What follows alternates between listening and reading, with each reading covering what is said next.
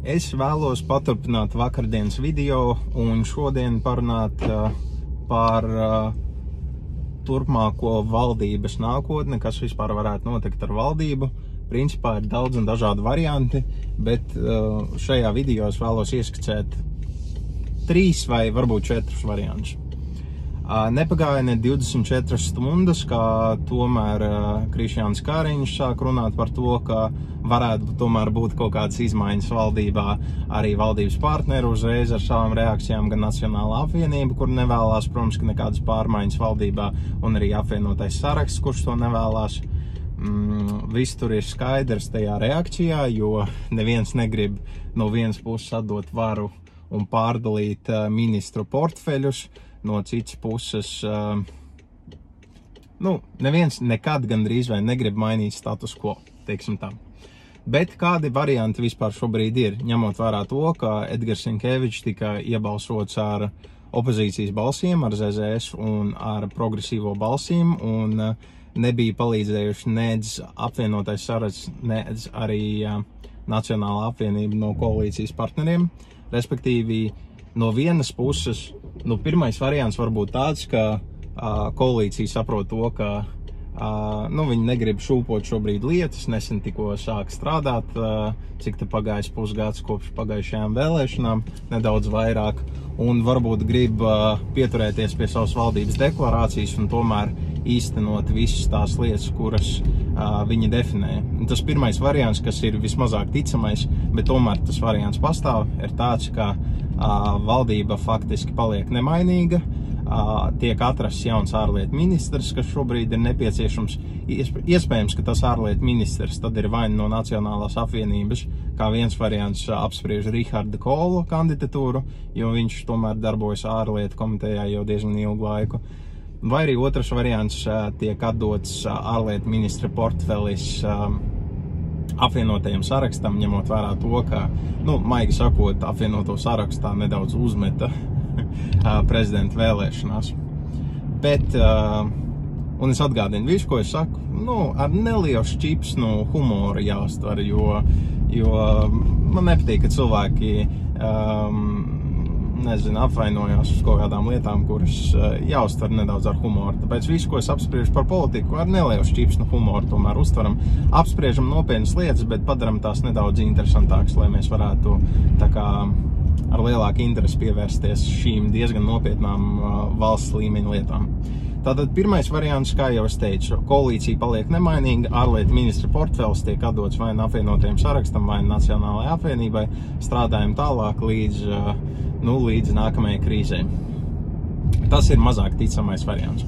Otrs variants ir tāds, ka uh, valdība tiek um, nu, tā kā negāsta, bet valdība vienkārši vairāk uh, neeksistē šī esošā valdība un Krišāns Kariņš aicina uz jauno valdību, tātad jaunā vienotība, Zaļo un Zemnieku savienība un progresīvie.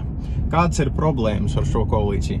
Nu, uh, problēmas, protams, ka var būt daudzas un dažādas, bet, nu, pirmkārt, uh, jau uh, viss šīs sarkanās līnijas, par kurām ļoti daudz politiskās partijas runāja pirms vēlēšanām un vēlēšana laikā, ka nekādā gadījumā uh, nesadarbosies ar ZZS. Nu, mēs redzam, ka vēlēšanas ir pagājušas un līdz ar to arī sarkanās līnijas ir izdevušas. Bet uh, šāda koalīcija ir diezgan realistiska. Kāpēc?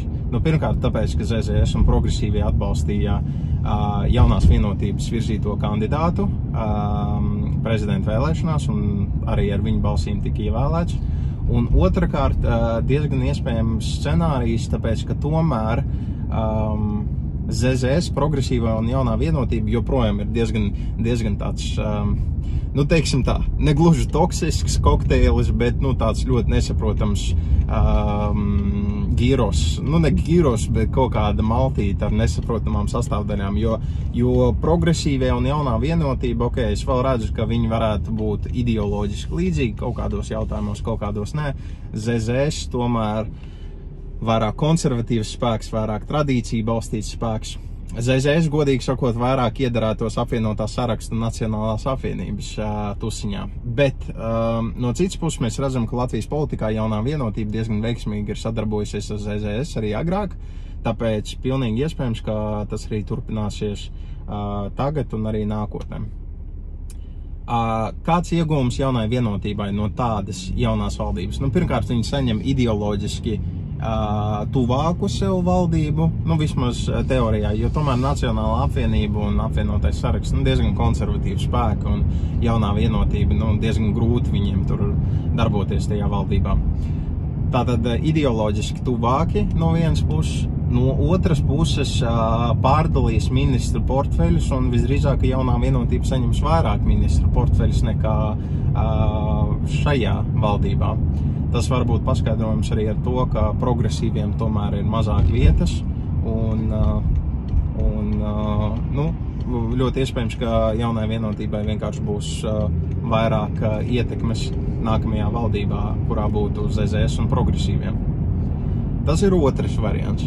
Trešais variants ir tāds, ka jaunā vienotība, ZZS progresīvie apvienojās, izveidot to 52 balsu koalīciju un pievieno sev klāt vēl daļu no apvienotā saraksta. Respektīvi, apvienotais saraksts izirst, kas šobrīd, es nezinu, vai ir ticams vai nē, politikā visādas lietas notiek. Pagaidām nav ļoti lielu pazīmju, ka tas varētu notikt, bet no citas puses arī visu, ko apvienotais saraksts tik tālu mēģinājis sasniegt, iebīdīt pīlēnu pa premjeru nesanāca, iebīdīt pīlēnu pa prezidentu arī nesanāca. Tomēr pīlēns, tā kā visas tās uh, kustības dibinātājs, viņš tā kā viņus visus saturēja kopā, nav skaidrs, ar ko vispār pīlēns šobrīd nodarbosies.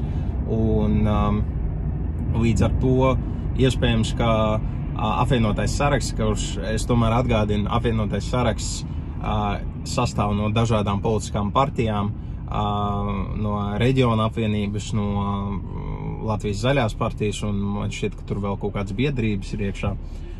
Pilnīgi iespējams, ka um, izirst šis saraksts, sadalās šī, šī saraksta dalībnieki, un kaut kāda daļa tiek uh, pieslēgta klāt koalīcijai, lai būtu vairāk balsu pieņemsim tie, kas darbojās Latvijas zaļajā partijā. Jo nu, viņi tomēr ideoloģiski diezgan, neskatoties to, ka ideoloģiski nav diezko lielas loģikas zaļajiem kopā ar zemniekiem. Un ticiet man, jo es esmu rakstījis veselu disertāciju universitātē par visu šo jautājumu, bet uh, praksē tomēr uh, ļoti ilgu laiku strādāja zaļā partija kopā ar Zemnieku savienību un varbūt viņiem uh, tomēr nebūtu grūti sastrādāties un atdalīties no apvienotā saraksta. Tas ir nu, vēl viens variants, kas var būt, respektīvi koalīcija, kur ir uh, progresīvie, Zaļā zemnieku savienība, kur ir jaunā vienotība, un tad ir kaut kāda daļa no apvienotā saraksta. Kas vēl var notikt? Godīgi sakot, grūti paredzēt šajā saimnes sasaukumā ar šo te sastāvu, kas vēl varētu notikt, jo godīgi sakot, nu, Nacionāla apvienība un apvienotais saraksts, viņi ar zemnieku ZZS strādāt negrib. Citādāk viņi varētu tur mēģināt izveidot koalīciju, trietā vēl pieliekot klāt kaut kādas balss. Bet tur nav īsti ko pielikt vairāk, jo ar progresīviem arī ir sarkanā līnija Nacionālajai apvienībai. Un uh, tālāk tur ir stabilitāte, ar kuru faktiski neviens negrib strādāt. Un uh, kas vēl ir palicis? vēl ir palicis um, Latvija pirmajā vietā, kuru, nu, realistiski šobrīd es neredzu. Neredzu, kurš gribētu strādāt ar Latviju pirmajā vietā. Nu, tīri teorētiski ZZS, kā es to iedomājos. Nacionāli ļoti maz ticams. Mm, apvienotais saraksts var būt, bet nu arī grūti teikt. Respektīvi, realistiskākais ir tas, ka joprojām Kariņš paliek premjerministrs paliek savā amatā. Visdrīzāk būs jauna valdība, kā es to redzu, kurā būs mm, pavisam citas partijas. Varian vai arī variants, kur viņi tomēr uh, notur esošo sastāvu šobrīd, tas ir uh, apvienotais saraksts, Nacionāla apvienība un uh, jaunā vienotība, nostrādā vēl kādu laiku, bet es domāju, ka tas nebūs ilgi, jo tomēr uh, atbalsts prezidenta vēlēšanās no ZZS un no progresīviem, nu, viņi sagaida noteikti kaut kādu atalgojumu. Un, uh, visdrīzāk, tas atalgojums ir aicināšana jaunajā valdībā. vai ko tas nozīmē mūsu valstī? Nu, tas pirmkārt nozīmē to, ka vecā valdības deklarācija, kur tika izveidota burtiski septiņus mēnešus atpakaļ, nu, netika tik daudz kas īstenots no tās uh, uh, valdības deklarācijas, un uh, mēs virzamies uz jaunu valdību un jaunu valdības deklarāciju. Tas ir viens variants, uh, kas mainīsies valstī. Uh, noteikti kaut kādu uh, citu uh, prioritāšu uzstādīšanu, gan no ZZS, gan no progresīvajiem arī. Es domāju, ka tīpaši no progresīvajiem. Un, uh, vai tas uh, dod ko labu Latvijai vai nē? grūti pateikt. No vienas puses, to, ko es jau teicu, ideoloģiski sadarīgākā kombinācija tomēr, nu, ja mēs salīdzinām, neviena no tām kombinācijām nav ideoloģiski sadarīga, bet ja mēs salīdzinām, tad ZZS un uh, progresīvie un, uh, un jaunā vienotība, nu, tas kokteils ir nedaudz sadarīgāks. Ja pieņemsim, tur izņemt ārā um, ZZS no tā kokteļa, Un, ja mums būtu iepriekšējais sasaukums, un tur pieņemsim piesviest klāt attīstībai pāri, ja tur piesviest klāt, mm, ko tur vēl varētu pies, piesviest klāt no pagājušā sasaukuma? nu, nav daudz ko, nedaudz ko var piesviest turklāt. Respektīvi, ok, tas kokteilis nav sadarīgs, bet nedaudz labāks nekā tagadējais, jo tagadējā, tagadējā koalīcija ideoloģiski, mēs skatāmies ideoloģiski, nu nav tur īpaši liels loģikas, jo Nacionāla apvienība ir, ir nu, labēja, labēja organizācija, principā, um, es neteiktu, ka ultra labēja, ja? nu, bet tas ir viens no labējākajiem variantiem, kas, kas vispār Latvijā ir. Ja? vismaz uh, parlamentā. Uh, un, uh, nu, tomēr jaunā vienotība, tāda centriska partija, ja, un apvienotais saraksts, nu, vairāk tā kā labējs, bet, nu, centrisks, ja mēs skatāmies pēc tādām normālām definīcijām, ja. Nu, ZZS arī vairāk tā kā labējs, bet arī centrisks. Mm, nu, progresīvie, progresīvie tomēr man šķiet, ka ir uh, kreisi un, uh, un uh, nu, vairāk uz, nu, daudz vairāk uz liberālām vērtībām orientēti nekā tas pats ZZS. Ja? Un ZZS tomēr atbalsta lielākoties tradicionālās vērtības, ja mēs runājam par cilvēktiesībām. Un, nu, pārsvarā konservatīvu politiku ZZS. Tāpēc, nu, kaut kā tā ļoti interesanti bija novērot uh, prezidenta vēlēšanas un visus tos komentārus, ka nekas valdībā nemainīsies un ka neviens nevienam neko nav apsolījis un ka un pēc tam pagāja mazāk nekā 24 stundas un mēs nonācām līdz tam, ka jau tiek apspriesta jauna valdība, bet tas bija, bet tas bija paredzams, nu tur vajadzēja atrast kaut kādu kompromisu, jo citādāk būtu ievēlēts vai nu pīlēns, vai nu vai nu nebūtu neviens tajā pirmajā kārtā vispār ievēlēts, un pēc tam atkārtots būtu prezidenta vēlēšanas, un tad kāda no partijām izvilkt sev no kabatas, no kaut kāda kabatas kandidāta, un tad mēs vispār rezultātā būtu ar prezidentu vai prezidenti, kuru neviens nebija plānojis, ka tas cilvēks kļūs par prezidentu vai prezidenti. Uh, Tāpēc notika tas, kas notika. Es joprojām uzskatu, ka Edgars Rinkevičs ir ļoti labs valsts prezidenta kandidāts un būs labs valsts prezidents. Paldies par aktivitāti iepriekšējā video, ļoti daudz komentāru, ļoti daudz interesantu ziņu no jums. Dominē tomēr tas, ka Latvijā joprojām diezgan izteikta homofobija, kuru mēs ļoti bieži mēģinam paslēpt tradicionālās vērtībās un uh, tolerancē pret citiem, bet uh, tomēr neizpaužiet to, ka jūs esat gejs vai lesbieti un tā tālāk. Bet es vēlos atgādināt to, ka um, cilvēks var atbalstīt tradicionālās vērtības, Uh, un uh, nebūt uh, homofobs. Ja? Mums kaut kā bieži Latvijā sanāk tas, ka mēs asi iestājamies pret cilvēku seksuālā orientāciju, ja mēs runājam par kaut ko netradicionālu.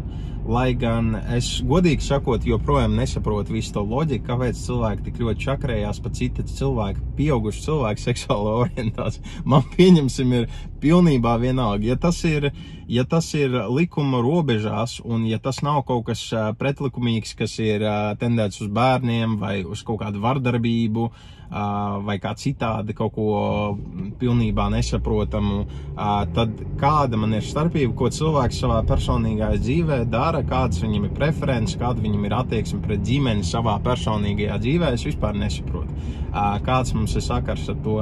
Cilvēki ļoti bieži Latvijā vērtē cilvēkus politiski, ņemot vērā viņu seksuālo orientāciju. Vismaz šobrīd, šajā gadījumā, bieži tas nenotiek. Jums tomēr cilvēki joprojām neizpauž savu seksuālo orientāciju, tāpēc ka uh, dominējošā masa ir konservatīva un uh, nepietiekami labi izglītota par to, ko vispār nozīmē dažādas seksuālās orientācijas. Bet viss mainīsies, tas neizbēgami. Visu pasauli mainās, un uh, mēs varam vai nu dzīvot burbulī un tēlot, ka um, visapkārt joprojām ir 80. gadi un ka, ka visam jābūt tradicionālam, bet paskatieties visapkārt, vai jums uh, viss, kas vispār pasaulē notiek šobrīd Eiropā, vai jūs tiešām tur redzat, ka viss notiek ļoti normāli, ļoti tradicionāli. Es runāju par to, ka pasaule mainās un ir labi, ka laikam līdzi mainās arī kaut kādas tradīcijas.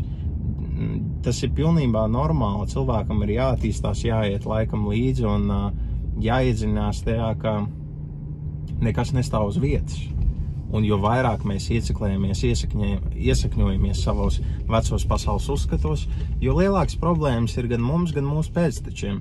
Un kamēr mēs te Latvijā tiešām tik ļoti aktīvi plēšamies par eh, citu cilvēku seksuālo orientāciju, citas valsts pasaulē nodarbojas ar daudz nopietnākiem jautājumiem. Es tāpat arī uzskatu, ka viss šis partneru attiecību jautājums uh, ir, uh, nu, tā kā Rinkevičs saka, tas ir tīri juridisks jautājums, jo partner, partneru attiecību uh, likums jau nav saistīts tikai ar vienzimumu laulībām. Tas ir saistīts tā skaitā arī ar uh, cilvēkiem, kuri nevēlas pieņemšiem uh, um, kāzas, kuri nevēlas uh, būt par vīru un sievu un varbūt visas šīs tradīcijas, bet grib dzīvot kopā un grib kaut kādu juridisko saikni savā starpā. Gadījumā, ja pieņemsim, viens nonāk slimnīcā, lai otrs varētu parakstīt kaut kādus dokumentus, ja ir nepieciešams, vai lai varētu juridiski apstiprināt nekustamā īpašuma tiesības un tā tālāk. Tāpēc tas, tas jautājums ir daudz plašāks un tas neskar tikai vienzimuma attiecības. Man vienkārši šķiet, ka cilvēki ļoti bieži ieciklējās tajā, kas viņiem ir nesaprotams, un tajā, kas, un viss tas, kas ir nesaprotams, tas izraisa kaut kādas bailes, un rezultātā izraisa šo agresiju, ka, ka nē, nē, šis ir slimi, šis ir nepareizi un tā tālāk. Es uzskatu, ka tomēr ir jābūt pienācīgai izglītībai, ir jāinteresējas par to, kas notiek pasaulē, un man, godīgi sakot, tas, kā Edgars Rinkevičs ir gejs, man godīgi sakot, pie vienas vietas ir. Man liekas, ka tas ir diezgan forši, ka tomēr uh, neskatoties uz uh, homofobiju, kas ir mūsu valstī, uh, mūsu valstī cilvēks var kļūt par prezidentu, un tam cilvēkam var būt netradicionāla seksuāla orientācija. Man liekas, ka tas ir, tas ir forši. Bet vai es tajā ieciklējos? Nebūtu nē, vispār nē. Man ir svarīgi, ka Edgars Rinkevičam ir uh, ļoti laba ārlietu, ārlietu vēsture, viņam ir pieredze, uh, man ir svarīgi, ka viņam ir uh, saiknes ārlietās, man ir svarīgi tas, ka viņam ir ļoti pārredzama pozīcija uh, politikā un uh, kopumā um, pārredzams uh, un saprotams, ko viņš darīs, ko viņš nedarīs dažādos, dažādos politiskojos gadījumos. Un man ir svarīgi tas, ka viņam ir laba reputācija, man ir svarīgi tas, ka viņam ir laba izglītība, ir svarīgi tas, ka viņam ir bijis vēlēšanās ļoti liels atbalsts, un nevienās vēlēšanās vien.